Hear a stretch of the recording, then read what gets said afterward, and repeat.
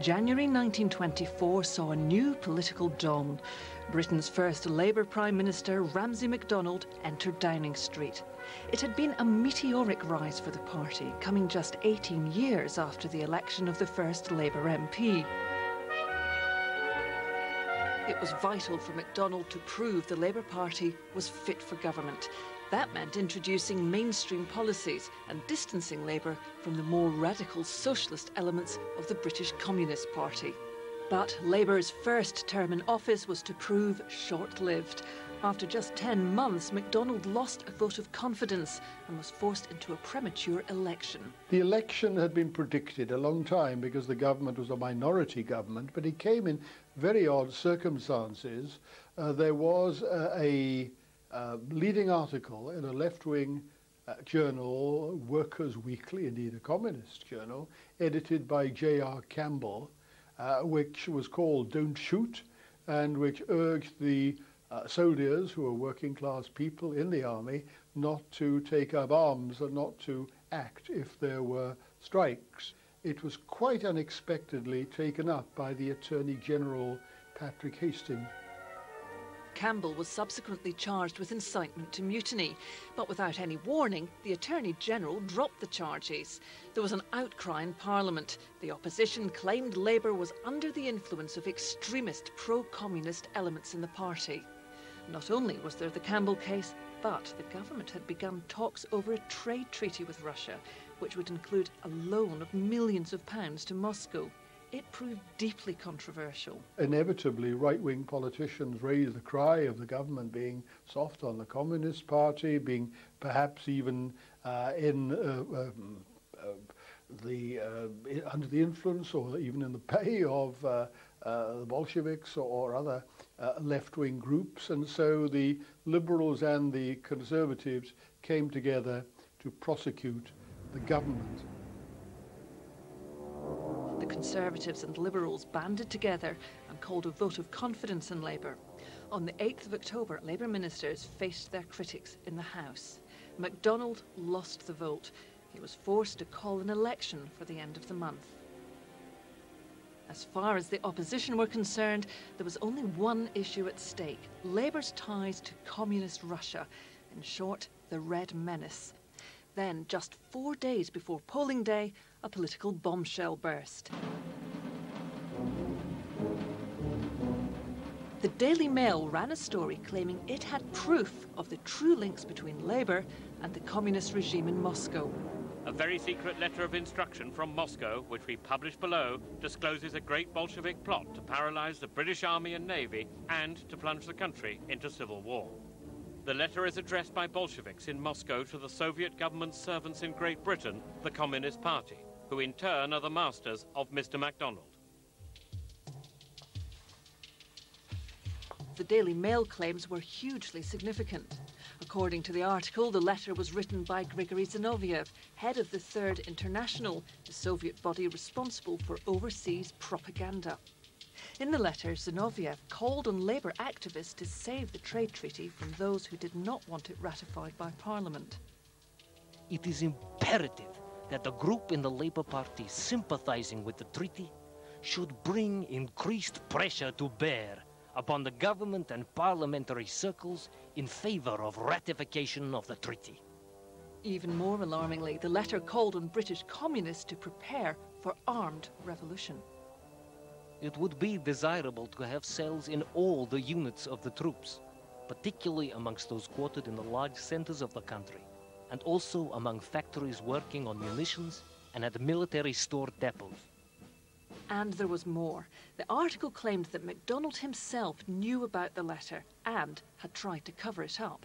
The opposition and the press had a field day. From the Tories' point of view, it was a gift from heaven. I mean, they're, they're long before the the, the, the, the, letter came out four days before the polls, you know, so it was, it was, it was so late that it was hard to get any counter blast to it anyway. It was, such, it was, it was a magnificent time for, to, you know, to, to uh, pull a fast one, if fast one it was. It was too late for Labour to turn the situation around. They lost the election to a Tory landslide. For many in the Labour Party, it was clear that they'd been swindled out of the election. For years, speculation grew over the letter, where it had come from, whether it was a forgery, and why it had appeared when it did. Countless theories blamed the Secret Intelligence Service, MI5, the Conservative Party, and Foreign Office officials for conspiring to bring down Labour. But how much is true? Was the first Labour government the victim of a political plot? Had the establishment conspired against it? First are the allegations against officials at the Foreign Office. Could it be true that civil servants plotted the release of the letter to cause maximum political damage to their Labour masters? And is it true, as the press had claimed, that MacDonald had tried to suppress the letter and prevent it reaching the public domain?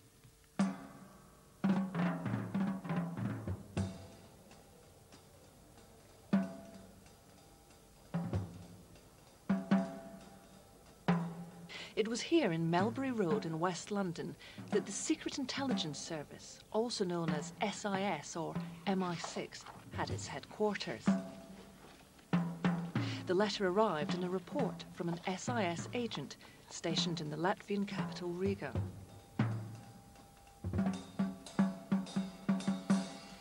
It was assessed by SIS section head Desmond Morton. Propaganda from Moscow to the British Communist Party was not unusual, and Riga, due to its proximity to Russia, was a common source of intelligence on Soviet activities. What would happen now if a Zinoviev letter arrived now is that um, it would be considered by the Joint Intelligence Committee. What happens on the 9th of um, October 1924? So far as we know, there's just one individual. He looks at it, oh yeah, seen plenty of stuff like that before. It's obviously genuine. I'll pass it on to the Foreign Office. Morton followed routine and passed the letter to the Foreign Office, MI5, and Scotland Yard with a note. The document contains strong incitement to armed revolution and constitutes evidence of intention to contaminate the armed forces. The authenticity of this document is undoubted.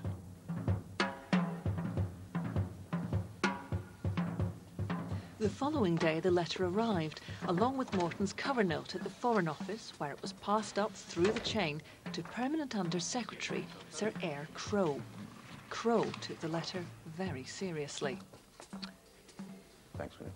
Certainly, he and other members of the Foreign Office were absolutely uh, anti Bolshevik, um, and understandably so, because the Bolshevik foreign policy was completely disruptive. MacDonald had made it clear to his officials that he would not stand for acts of subversion by the Soviet Union.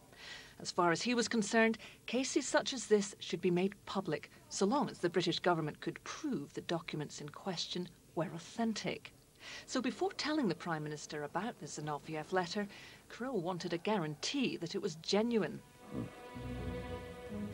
Back at the headquarters of SIS, it was the job of Desmond Morton to prove its authenticity. My contact is a member of the Central Committee of the British Communist Party. Morton had an undercover agent named Jim Finney within the Communist Party. According to Finney, senior party members had held a meeting two weeks earlier to discuss a letter they'd recently received from Moscow. It was decided that particular efforts were to be made to permeate the armed forces of the Crown with communist agents, then to promote strikes and incite revolutionary action. It is hoped this last, by reason of the communist propaganda, which will have had effect, will either refuse to quell the disturbance or join the rioters. The similarities between the letter discussed at the Communist Party meeting and the one received by SIS were startling. As far as Morton was concerned, they were one and the same. This proved, he said, that the Zinoviev letter had been sent to the British Communist Party and it must therefore be genuine. Armed with this evidence, Crowe decided it was time to inform the Prime Minister. But there was a problem. MacDonald was not even in London. He was touring the country on the campaign trail. MacDonald, who was the Foreign Secretary as well as the Prime Minister, he had to deal with all this. He was on the stump delivering about 20 speeches a day. He was never in Whitehall while all this was going on. He was all, you know, he was, Midlands and Wales all over, all over the place. And he was dealing with all this through boxes, you know, the, the, the official boxes. On the 15th of October, Crowe wrote to MacDonald with his recommendation. Our best and only defence against these treacherous proceedings is publicity. It does not seem fair to our own people that our knowledge of the Russian machinations should remain forever concealed. It is not only our right, but almost a duty, to bring such cases of propaganda as the present one to the notice of the Soviet government. MacDonald agreed. He instructed Foreign Office officials to draft an official protest note to the Soviets. It is my duty to inform you that His Majesty's government cannot. The note would put the British government's objections to the Zinoviev letter on the record. ...by a revolutionary institution established on foreign soil. But MacDonald was far from happy with the result. When he received the draft on the 22nd of October, he substantially rewrote it. MacDonald's out of town, he's electioneering. Uh, he sees a draft, he amends it, he sends the draft back. And this, of course, is where part of the, um, the uncertainty occurs. He claimed subsequently that he had deliberately not initialed the draft so that uh, an amended draft would go back to him for further consideration. Without the Foreign Secretary's signature, officials would have no authority to release the document. Crowe said he assumed, uh, he was quite sure on receiving MacDonald's first amendments, that that thereby authorised him to send the, the letter to uh, the Soviet charge. There's no way now of being absolutely sure what the misunderstanding was, but there clearly was quite a, a serious misunderstanding. By the time MacDonald's version of the protest note was received in Whitehall, it was the 24th of October. You have seen the amendments made by the Prime Minister. At 11 a.m., Crowe met senior officials to decide what course of action to take. He was convinced the protest should be sent without delay, and he felt he had the authority to do so. At 4 p.m., the draft protest note was taken to the Soviet embassy. Two hours later, the protest and a copy of the letter were given to the press. The draft was sent, and that both the uh, protest note and indeed the text of the letter appeared in the Daily Mail without MacDonald being forewarned. So he was in the humiliating position of speaking at a public meeting when somebody said, What about this we see in the paper? And he hadn't been told. And I think, as any Prime Minister would feel, he felt you know, um, very shaken and shocked and extremely angry about it. The evidence shows that MacDonald had intended to release the letter, but instead he was caught off guard by the Daily Mail headline. The result played straight into the hands of those who claimed ministers were indeed covering up their true ties to Moscow. The election had been about the Red Menace, so why didn't officials warn MacDonald that the letter was about to be released just four days before the election? While the Conservatives held talks on establishing a new ministry, MacDonald used his last remaining days in office to investigate what had happened. I remember that you had wished us to make quite sure of the authenticity of the Zinoviev letter. I had gone into this with great care and was entirely satisfied on the point. We had evidence, not only of the letter being sent from Moscow, but of its having been received here. This is, as a matter of fact, now further confirmed by the Daily Mail, having succeeded in obtaining the document. If anyone is to blame for your intentions being misunderstood, it must fall on myself. He was convinced the revised version of the note which MacDonald had sent gave him the authority to go public. MacDonald accepted his explanation that it was a bureaucratic error. Crowe had simply misunderstood MacDonald's wishes. The inquiry exonerated the Foreign Office of any wrongdoing.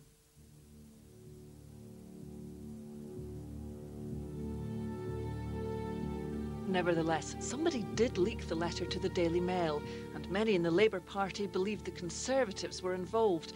After all, it was the Conservatives who'd gained most from the whole episode. Rumours about his party's role in the affair dogged the new Prime Minister Stanley Baldwin. So much so that eventually he went before the House of Commons with evidence which proved, he said, the true origins of the letter and how it had reached the press. The evidence was in the form of a statement produced by a former MI5 agent who claimed to be solely responsible for acquiring and publicising the letter. His name was Donald M. Imthurn.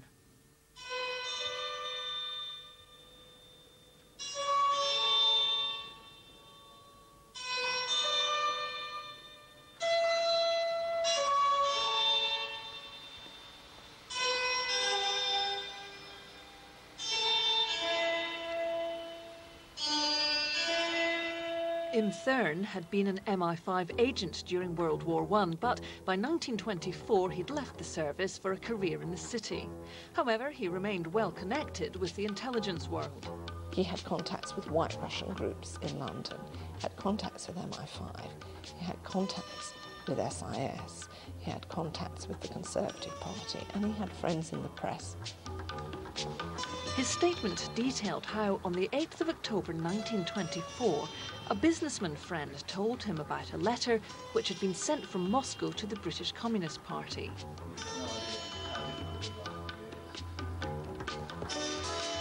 The following day, the friend was able to obtain a copy. I handed my copy of the letter not to the Daily Mail direct, but to a trusted city friend whom I knew to be in close touch with that newspaper and requested him to arrange for its publication. I would like to add that at no time did I obtain any information whatsoever with regard to the letter or its contents from any official source, and that from first to last, I was solely responsible both for obtaining the text of the letter and for securing its subsequent publication in the Daily Mail. Imthurn went on to explain his motives. He felt that as the government was about to lend millions of taxpayers' money to Soviet Russia, he had a duty to publicise evidence of Russian subversion in Britain. I need hardly say that my action in this matter was solely dictated by patriotic motives, and that at no point whatsoever did I receive any payment, or any other reward, therefore. The statement was clear. The letter had reached the Daily Mail through a completely independent source. The Conservative Party was off the hook. It was only when Imthurn's diary was uncovered over 40 years later that new light could be shone on the affair. According to his diary, Imthurn did hear of the letter on the 8th of October, 24 hours before it arrived at SIS headquarters. His source was a figure known only as X. At the meeting, X told Imthurn that Moscow was to begin a great propaganda war in England and that instructions had been sent to British communists. The identity of X remains a mystery, although it is possible that he was the same friend mentioned in the statement read by Baldwin. The following day, X contacted him again. October 9th. X rang up at 6 o'clock to say, so far nothing doing. Wonder what ought to do. Do nothing. Only hearsay so far. This is where the diary diverges from the statement read by Baldwin. According to the statement, Im Thurn had a copy of the letter in his hands on the 9th. However, the diary says the letter was only hearsay. He contacted an old friend, Major Guy Kindersley. It is this diary entry which is the most damaging for Baldwin, as Kindersley was a Conservative MP. October the 15th. Rang up Kindersley. Told him to come up. 11 o'clock, Kindersley and I met Lord Younger and gave him the news. Wanted a guarantee against loss. At 3.30, we met Younger and Colonel Jackson. They gave me a guarantee and decided on Times publication. Lord Younger was the Conservative Party treasurer and Colonel Jackson the party chairman. Within hours of approaching Kindersley, Imthurn was meeting senior figures at Conservative Central Office to discuss how the letter could be used. The revelation completely undermined the statement read by Baldwin to the Commons. So, did Imthurn leak the letter to the Conservatives and the Daily Mail? For five days, he tried desperately to obtain a copy from his intelligence service contacts. But the evidence suggests he never even set eyes on the letter. He had good sources of information, although when I looked into him myself, I found no concrete evidence that he had actually had a copy of the letter in his hand at all. He had a kind of interesting role in sort of trying to hustle the le letter along. And uh, uh, I don't think it was a larger role as he portrayed for himself. Donald Imthurn had provided the evidence which enabled Stanley Baldwin to deny that the Conservative Party had anything to do with the publication of the Zinoviev letter. Yet the evidence in Imthurn's diary shows that the Conservatives knew about the letter two weeks before it was made public. Once Central Office knew of the letter's existence, the Conservatives could turn to any number of former and serving intelligence men who they could rely on. You're talking about a very small circle of people at the top, whether it's intelligence, um, senior officials, ministers, press barons.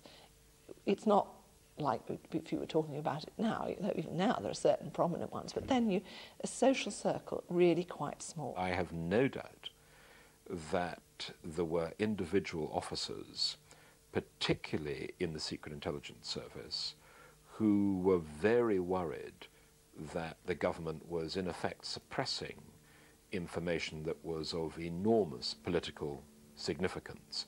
And the temptation to leak must have been overwhelming. The probable sequence of events is that uh, somebody in Whitehall, not necessarily, but quite possibly in one of the intelligence services, and SIS is the most probable one, uh, leaked it to some former member of uh, one of the intelligence services, and that they then uh, took it on themselves to leak it to the Daily Mail.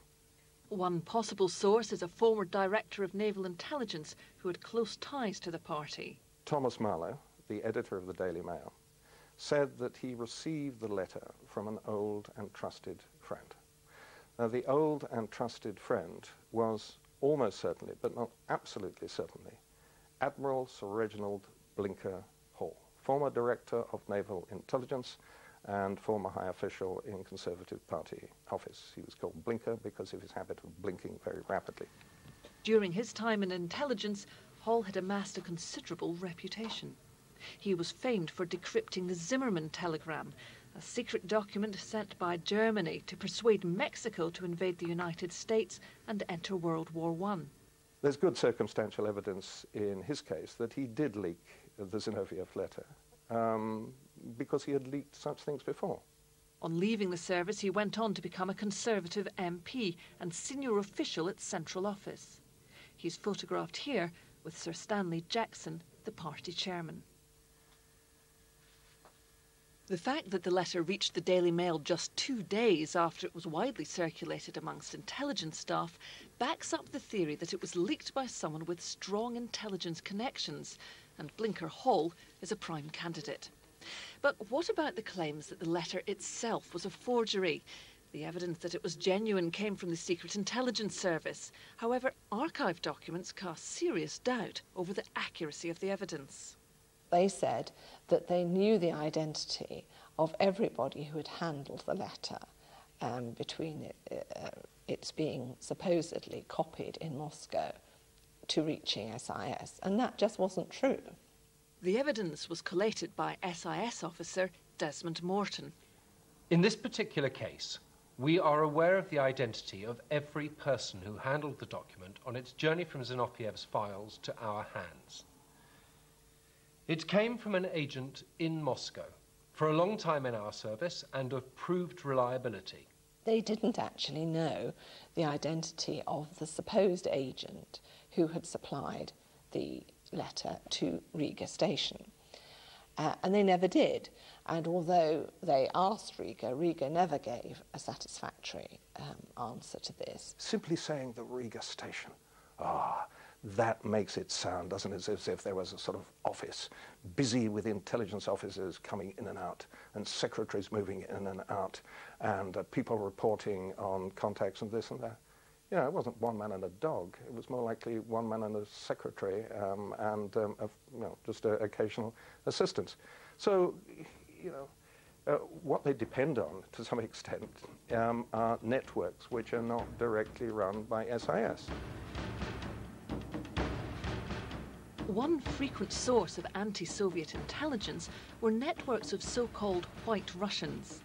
The civil war which followed the Russian Revolution had split the country between Bolsheviks and pro-monarchy White Russian groups. The problem was that as well as supplying genuine information, they often produced fake Soviet propaganda aimed at discrediting the regime. But SIS had an answer for that. We made it our special business to be acquainted to the methods and personnel of the various White Russian and other forging organizations, especially the main one in Berlin, with the object of preventing ourselves from having forgeries planted on us. The Berlin organization referred to by Morton was headed by one of the most notorious anti-Soviet forgers, Vladimir Orlov. Orlov was uh, a committed White Russian. He was an opponent of the regime. Uh, his uh, sole purpose in life was to undermine the Bolsheviks, to restore uh, Tsarist old Russia. And he was a very skilled forger. And for many years he continued peddling information and documents and pamphlets and other material that he claimed had come from sources within the Bolshevik movement, but actually they were just very skilled uh, forgeries. SIS claimed that because they kept an eye on the Orlov ring, it was impossible for a forgery to be slipped into the system. This is really an impossible um, proposition to, to substantiate because, after all, if it was a forgery designed to be fed into the British system and disrupt, then they're hardly going to um, make and dance about it. Somebody would be doing it much more subtly than sending it through Vladimir Orlov.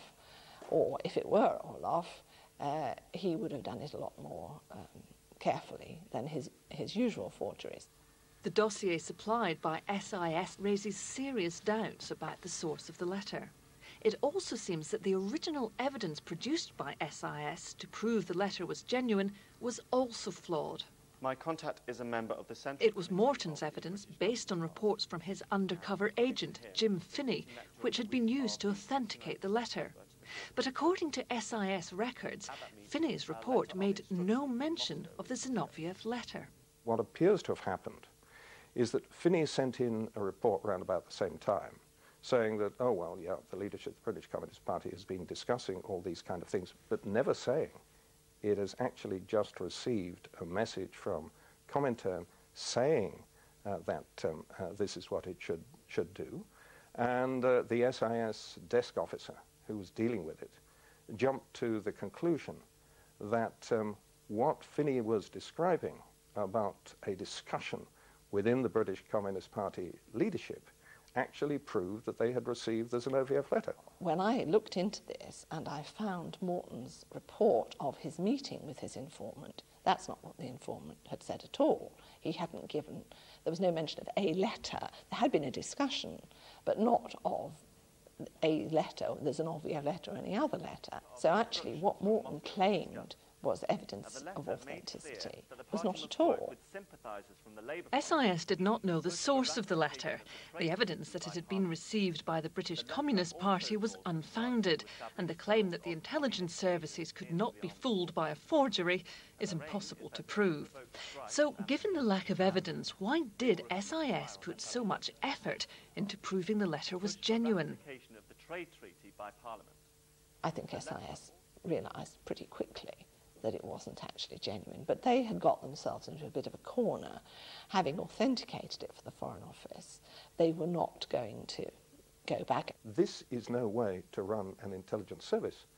But if you're as minute in size as SIS was at that point, you have only one of two choices. Either say, look, we're so small, we can't cope with this. Or, well, yeah, we're very short staffed, we have to reach decisions quickly. This is the decision. And they got it terribly wrong. So, if it was a forgery, who did write the Zinoviev letter and why?